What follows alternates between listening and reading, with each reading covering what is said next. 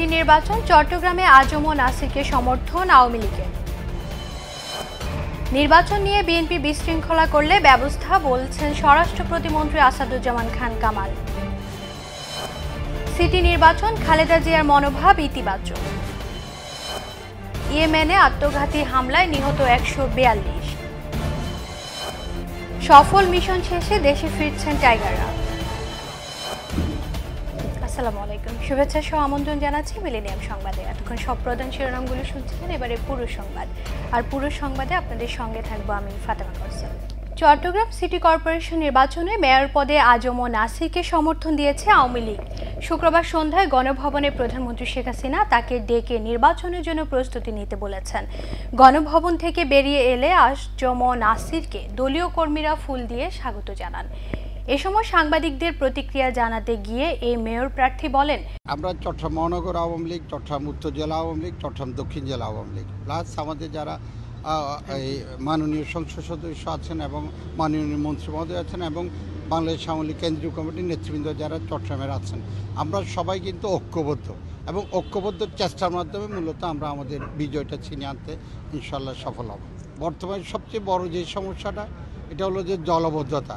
এই জলবদ্ধতা মুক্ত করতে হবে, এটা এটা হলো টপ প্রায়োরিটি থাকবে এবং জলবদ্ধতা মুক্ত করতে হলে এটা স্থায়ী যদি করতে হয়, তাহলে দীর্ঘমেয়াদী একটা পরিকল্পনা গ্রহণ করতে হবে। এবং আমি স্বল্প মধ্য দীর্ঘমেয়াদী পরিকল্পনা গ্রহণ করার মাধ্যমে নগরবাসীকে জলবদ্ধতা থেকে পরিত্রাণ দেবে। দলীয় সিদ্ধান্ত অনুযায়ী নিজের নাম প্রত্যাহার করে আজম নাসির উদ্দিনকে সমর্থনের কথা জানিয়েছেন চট্টগ্রাম মহানগর আওয়ামী লীগের সভাপতি মহিউদ্দিন চৌধুরী। শনিবার বেলা পৌনে এগারোটার দিকে নগরীর চশমা হিলস্থ নিজ বাসভবনে সাংবাদিকদের তিনি কথা বলেন। মহিউদ্দিন চৌধুরী বলেন, আমি প্রার্থী ছিলাম। দলের পক্ষ থেকে আমি আমার নাম প্রত্যাহার করেছি। সামনে বসে আজম নাসিরকে মনোনীত দেওয়ার জন্য সিদ্ধান্ত হয়েছে। নির্বাচন প্রসঙ্গে আজম নাসির তার কীভাবে নির্ভর করবে ইত্যাদি প্রসঙ্গে বিস্তারিত বলার জন্য তাকে বলেছি। প্রয়াত রাষ্ট্রপতি জিল্লুর রহমানের দ্বিতীয় মৃত্যুবার্ষিকী উপলক্ষে শুক্রবার গুলশানে আইভি টাওয়ারে বাদাসর মিলাদ মাহফিল অনুষ্ঠিত হয়েছে। মিলাদ ও দোয়া মাহফিলে উপস্থিত ছিলেন প্রধানমন্ত্রী শেখ হাসিনা। এছাড়াও জিল্লুর রহমানের পরিবারের সদস্যরা উপস্থিত থেকে মরহুমের রুহের মাগফিরাত কামনা করেন। বাংলাদেশের উনিশতম রাষ্ট্রপতি, বর্ষিয়ান রাজনীতিবিদ, ভাষা সৈনিক এবং মুক্তিযুদ্ধের অন্যতম সংগঠন মোহাম্মদ জিল্লুর রহমান দু সালের এই দিনে সিঙ্গাপুরের মাউন্ট এলিজাবেথ হাসপাতালে শেষ নিঃশ্বাস ত্যাগ করেন। স্বরাষ্ট্র প্রতিমন্ত্রী আসাদুজ্জামান খান কামাল বলেছেন, ঢাকা উত্তর ও দক্ষিণ এবং চট্টগ্রাম সিটি কর্পোরেশন নির্বাচনে অংশগ্রহণের সুযোগ বিএনপি বিশৃঙ্খলা সৃষ্টির চেষ্টা করলে আইনানুগ ব্যবস্থা নেবে আইন শৃঙ্খলা রক্ষাকারী বাহিনী।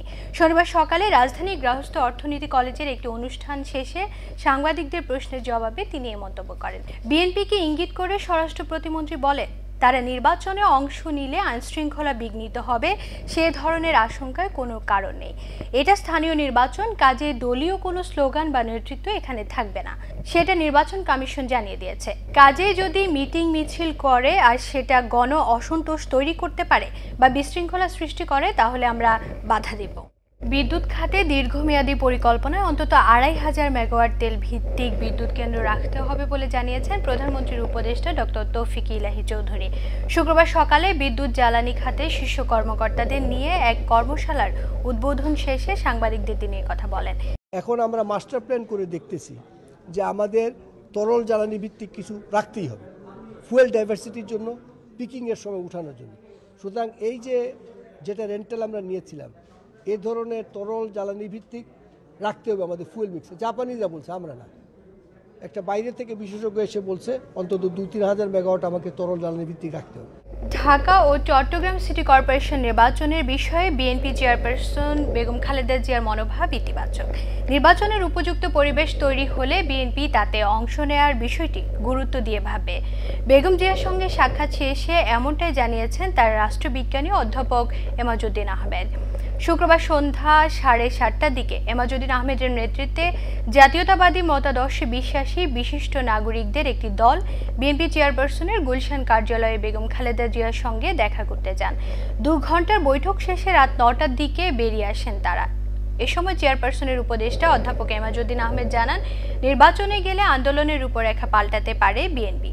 এ সময় অধ্যাপক এমাজুদ্দিন আহমেদ আরও বলেন বিএনপি হলো বরাবর নির্বাচন মুখী একটা দল। ঢাকাতে চট্টগ্রামে যে নির্বাচন হবে এই ব্যাপারে সিদ্ধান্ত গ্রহণ করার যে একটা বডি আছে পার্টি আছে পার্টি স্ট্যান্ডিং কমিটি আছে এবং আরও বিশ দল আছে লিয়াজো কমিটি আছে সুতরাং সবগুলো মিলিয়ে তারা সিদ্ধান্ত গ্রহণ করবেন যে নেগেটিভ কিছু না একটা অবাধ নির্বাচন নিশ্চিত হোক। তারপর প্রয়োজন বোধে আন্দোলন এখন তো যে অবস্থায় আছে তখন হয়তো পাল্টাবে।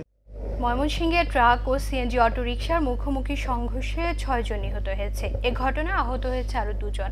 শনিবার সকাল সাড়ে ছটার দিকে মুক্তাগাছা উপজেলার ভাবকির মোড়ে এই দুর্ঘটনা ঘটে। পুলিশ জানায় ময়মনসিংহ ময়মনসিংহগামী একটি সিএনজি অটোরিকশা মুক্তাগাছা উপজেলার ভাবকির মোড়ে পৌঁছালে বিপরীত দিক থেকে আসা জামালপুরগামী একটি বালু বোঝাই ট্রাকের সাথে সংঘর্ষ হয়। এতে ঘটনাস্থলে নিহত হন সিএনজি অটোরিকশার তিন যাত্রী। আহত হয় অপর তিন যাত্রী। আশঙ্কাজনক অবস্থায় তাদের উদ্ধার করে ময়মনসিংহ মেডিকেল কলেজ হাসপাতালে নেওয়া হলে সেখানে আরও তিনজন মারা যায়। নিহতদের সবার বাড়ি ময়মনসিংহের মুক্তাগাছায়। চালক সহ ঘাতক ট্রাকটি আটক করেছে পুলিশ। দর্শক, আপনি দেখছেন মিলেনিয়াম সংবাদ। এবারে ছোট্ট একটা বিরতির সঙ্গে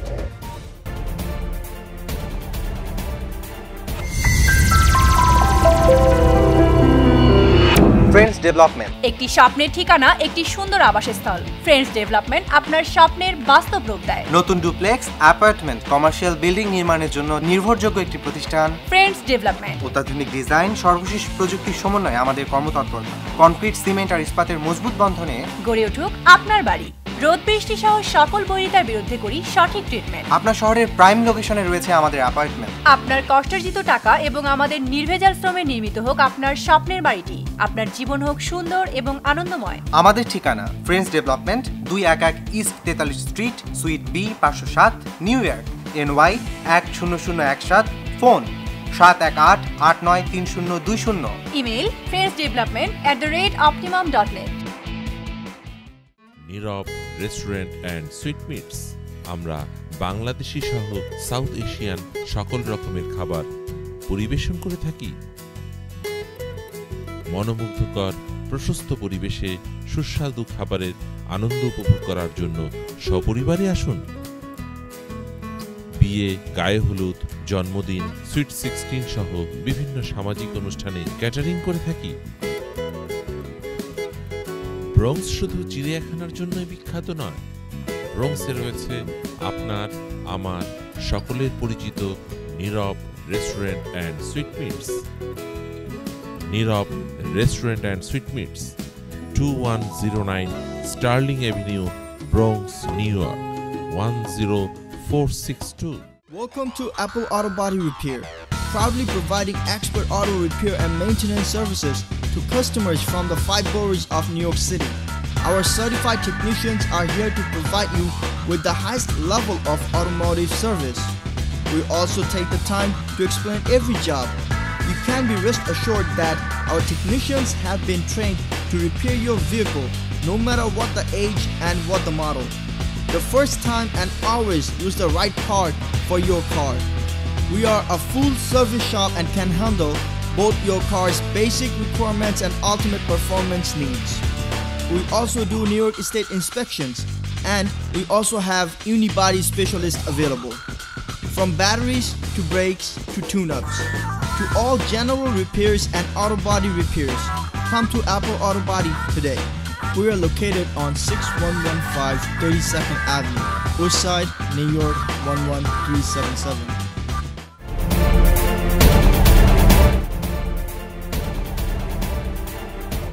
আবারও স্বাগত মিলেনিয়াম সংবাদে। সাভারে ভয়াবহ আগুনে একটি তুলার গুদাম সম্পূর্ণ পুড়ে গেছে, তবে এতে হতাহতের কোনো ঘটনা ঘটেনি। ফায়ার সার্ভিস ও প্রত্যক্ষদর্শীরা জানান, শুক্রবার রাত একটার দিকে আশুলিয়া শিমুলতলা এলাকায় একটি তুলার গুদামে আগুন লাগে। মুহূর্তে আগুন চারপাশে ছড়িয়ে পড়ে। এতে আশেপাশে তিন চারটি বাড়িও ক্ষতিগ্রস্ত হয়। খবর পেয়ে ফায়ার সার্ভিসের ষাটটি ইউনিট ঘটনাস্থলে পৌঁছে প্রায় তিন ঘণ্টার চেষ্টায় আগুন নিয়ন্ত্রণে আনে। তবে কীভাবে আগুন লাগল সে সম্পর্কে নিশ্চিত হতে পারেনি ফায়ার সার্ভিস। বিএনপি জামাত সহ বিশ দলীয় জোটে চলমান হরতাল অবরোধ কর্মসূচির প্রথম দিকে উত্তরাঞ্চল থেকে সিরাজগঞ্জ জেলার উপর দিয়ে উল্লেখযোগ্য হারে দূরপাল্লা যাত্রীবাহী বাস ঢাকার অভিমুখে রওনা করেনি। আমাদের সিরাজগঞ্জ প্রতিনিধি শামসুর রহমান শিশি জানান, ফলে যাত্রীদের পোহাতে হয়েছে নানা দুর্ভোগ, দুর্গতি। কিন্তু প্রশাসনের সহযোগিতার বর্তমানে ওই রুটে ঢাকাগামী দূরপাল্লা যাত্রীবাহী বাস চলাচল প্রায় স্বাভাবিক হয়ে আসায় যাত্রীদের দুর্ভোগ দুর্গতি কমেছে। এদিকে বিশ দলীয় জোটের ওই আন্দোলন কর্মসূচির প্রথম থেকে একটানা মিম ঐশী এন্টারপ্রাইজের সকল দূরপাল্লা যাত্রীবাহী পরিবহন সিরাজগঞ্জ ঢাকা মহাসড়কে চলাচল করে বেশ আলোচনায় এসেছে। নাশকতার ভয়কে উপেক্ষা করে এবং মাঝে মধ্যে পিকেটারদের বিক্ষিপ্ত চোরাগোপ্তা হামলাও দমাতে পারেনি ওই পরিবহনের চালকদের, এমনটাই জানালেন ওই পরিবহনের প্রবীণ চালক সাহা। জেলা শাহজাদপুরের মিম পরিবহনের মালিক শাহিদুল ইসলাম মুক্তা জানালেন, হরতাল অবরোধের প্রথম থেকে গাড়ি চালনা করা হচ্ছে। প্রশাসন সবসময় সহযোগিতা করায় হরতাল অবরোধের প্রথম থেকে গাড়ি চালনা অব্যাহত রয়েছে। ব্যাপক আয়োজনের মধ্য দিয়ে কাতারে পালিত হচ্ছে জাতির পিতা বঙ্গবন্ধু শেখ মুজিবুর রহমানের জন্মবার্ষিকী। আমাদের কাতার প্রতিনিধি এম এস সালাম জানান, দিবসটি উপলক্ষে বাঙালি কমিউনিটি এবং বাংলাদেশ বাংলাদেশ দূতাবাস যৌথ উদ্যোগে আয়োজিত আলোচনা সভায় সভাপতিত্ব করেন কাতারে নিযুক্ত বাংলাদেশের রাষ্ট্রদূত সৈয়দ মাসুদ মাহমুদ খন্দকার। দূতাবাসের দ্বিতীয় সচিব মোহাম্মদ নাজমুল হকের পরিচালনায় রাষ্ট্রপতি, প্রধানমন্ত্রী ও পররাষ্ট্রমন্ত্রী প্রেরিত বাণী পাঠ করে শোনান। যথাক্রমে রাষ্ট্রদূত সৈয়দ মাসুদ মাহমুদ খন্দকার, কাউন্সিলর ডক্টর সিরাজ এবং প্রথম সচিব শ্রম শফিউল আজিম এছাড়া বাংলাদেশ স্কুল অ্যান্ড কলেজ ছাত্রছাত্রীরা সহ কমিউনিটির নেতারা বক্তব্য রাখেন। বাংলাদেশের রাষ্ট্রীয় সন্ত্রাস, বিচার বহির্ভূত হত্যাকাণ্ড বন্ধ ও চলমান সংকট সমাধানের লক্ষ্যে অর্থবহ সংলাপের দাবিতে সংবাদ সম্মেলন করেছে সৌদি আরব, মদিনা মনোয়ারা বিশ দলীয় জোট। আমাদের সৌদি আরব মদিনা প্রতিনিধি মোহাম্মদ আলী রাশেদ জানান, হোটেল গোল্ডেন আল আনসারের মিলনায়তনে সংবাদ সম্মেলনে সভাপতিত্ব করেন ওলামা দলের সৌদি আরবের কেন্দ্রীয় কমিটির সভাপতি সৈয়দ রফিকুল ইসলাম মাদানী।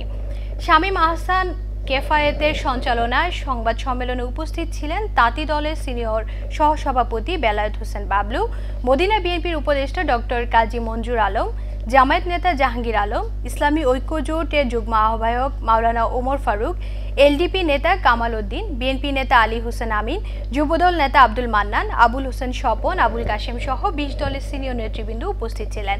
সংবাদ সম্মেলন শেষে দেশ ও জাতির কল্যাণ কামনা করে দোয়া করা হয়। দর্শক, এবার মিলেনিয়াম আন্তর্জাতিক সংবাদ।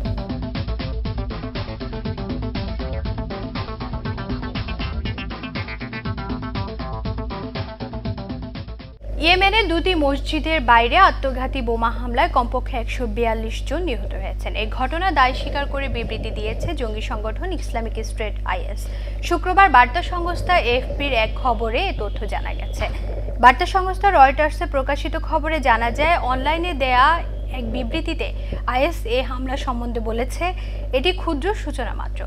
বিবৃতিতে আরও বলা হয়, বিধর্মী হুতিদের এটি জেনে রাখা উচিত যে আইএসের সৈন্যরা তাদের ধ্বংস না করা পর্যন্ত এবং সাফাভিদদের হাত কেটে না দেওয়া পর্যন্ত এটি অব্যাহত থাকবে।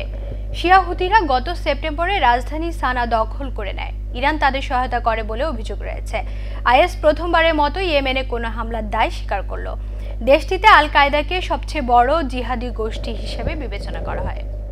দর্শক, এবার মিলেনিয়াম খেলা সংবাদ।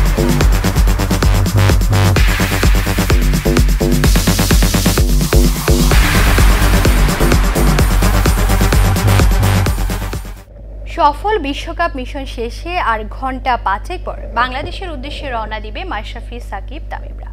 বর্তমানে মেলবোর্নে অবস্থান করা টাইগাররা বাংলাদেশ সময় প্রায় দেড়টায় সিডনি থেকে দেশের উদ্দেশ্যে রওনা দেবে। বিশ্বকাপ মিশন শুরুর আগে বাংলাদেশের লক্ষ্য ছিল কোয়ার্টার ফাইনাল খেলা। পর্বে আফগানিস্তান, স্কটল্যান্ড ও ইংল্যান্ডকে হারানোর পাশাপাশি বৃষ্টির কারণে অস্ট্রেলিয়ার সাথে ম্যাচ না হওয়ায় সাত পয়েন্ট নিয়ে কোয়ার্টার ফাইনালে যায় বাংলাদেশ।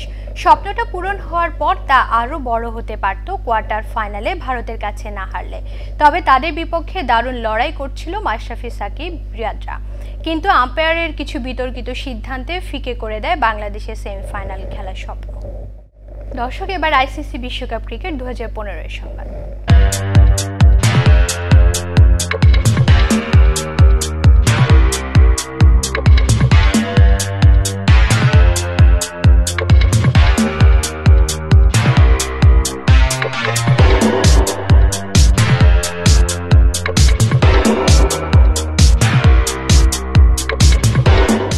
দাপটের সাথে পাকিস্তানকে হারিয়ে সেমিফাইনাল নিশ্চিত করল স্বাগতিক অস্ট্রেলিয়া। অ্যাডিলেটে কোয়ার্টার ফাইনালের ম্যাচে পাকিস্তানকে ছয় উইকেটে হারিয়েছে অজিরা টস জিতে শুরুতে ব্যাট করে অজি বলারদের দাপটে এক দুশো তেরো রানে অল আউট হয় পাকিস্তান।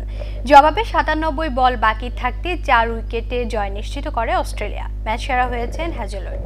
এর আগে অ্যাডিলেড ওভালে টস জিতে ব্যাট করতে নেমে শুরুটা একেবারেই ভালো ছিল না পাকিস্তানের। দলীয় চব্বিশ রানের আগে ম্যাচের সেঞ্চুরিয়ান সরফরাজ ওপেনার শেহজাদকে হারায় তারা। এরপর হারিস সোহাইলকে নিয়ে নিজের শেষ ওয়ানডে ম্যাচে দলের হয়ে হাল ধরেন অধিনায়ক মিসবাউল হক। কিন্তু সাঙ্গাকারা জয়াবর্ধনের মতো নিজে শেষ ওয়ানডেতে মিসবাও পারেনি নিজেকে মেলে ধরতে। দুজনে মিলে রানের খাতায় তিয়াত্তর রান যোগ করতে দলীয় সাতানব্বই রানে ব্যক্তিগত চৌত্রিশ রান করে আউট হন মিসবা এরপর দলের হয়ে সর্বোচ্চ একচল্লিশ রান করে দলীয় একশো বারো রানে সাজঘরে ফেরেন সোহাইল। নিজের শেষ ওয়ানডেতে আফ্রিদিও তার ব্যাট হাতে জ্বলে উঠতে পারেনি। শেষ পর্যন্ত মাকসুদের উনত্রিশ আফ্রিদির তেইশ ও আকমলের বিশ রান ছাড়া আর কেউ বেশিক্ষণ উইকেটে টিকতে পারেনি। অজি বলারদের সামনে। ফলে এক বল বাকি থাকতে দুশো তেরো রানে অল আউট হয় পাকিস্তান। অস্ট্রেলিয়ার হয়ে হ্যাজলউড নেন চার উইকেট। জবাবে ব্যাট করতে নামা অস্ট্রেলিয়ার শুরুটা ছিল খারাপ। দলীয় উনষাট রানে ফ্রিন্স ওয়ার্নার ও ক্লার্কের উইকেট তুলে নিয়ে স্বপ্নবাজ হয়ে পড়ে পাকিস্তান। কিন্তু অজিদের হয়ে হাল ধরেন স্মিত ওয়ার্সন জুটি। দুজনে মিলে রানের খাতায় যোগ করেন উননব্বই রান। পঁয়ষট্টি রান করে দলীয় একশো আটচল্লিশ রানে স্মিথ সাজঘরে ফিরলেও এক পা সাগলে রেখে ব্যাট করতে থাকেন ওয়াটসন। শেষ পর্যন্ত ওয়াটসনের অপরাজিত চৌষট্টি ও ম্যাক্সওয়েলের অপরাজিত চুয়াল্লিশ রানের ঝড়ে ছয় উইকেট হাতে রেখে জয় নিশ্চিত করে চারবারের বিশ্ব চ্যাম্পিয়নরা। ছাব্বিশ মার্চ সিডনিতে দ্বিতীয় সেমিফাইনালে স্বাগতিকদের প্রতিপক্ষ ভারত। দর্শক আপনারা দেখছিলেন মিলেনিয়াম সংবাদ। সংবাদ শেষ করব, তার আগে প্রধান শিরোনামগুলো জানিয়ে দিব আরও একবার। সিটি নির্বাচন, চট্টগ্রামে আজম নাসিরকে সমর্থন আওয়ামী লীগের। নির্বাচন নিয়ে বিএনপি বিশৃঙ্খলা করলে ব্যবস্থা বলছেন স্বরাষ্ট্র প্রতিমন্ত্রী আসাদুজ্জামান খান কামাল। সিটি নির্বাচন, খালেদা জিয়ার মনোভাব ইতিবাচক। ইয়েমেনে আত্মঘাতী হামলায় নিহত একশো বিয়াল্লিশ। সফল মিশন শেষে দেশে ফিরছেন টাইগাররা। এ ছিল মিলেনিয়াম সংবাদে যে কোনো খবর পেতে লগ ইন করুন মিলেনিয়াম টিভি ডট সঙ্গে থাকুন মিলেনিয়ামের আল্লাহ হাফেজ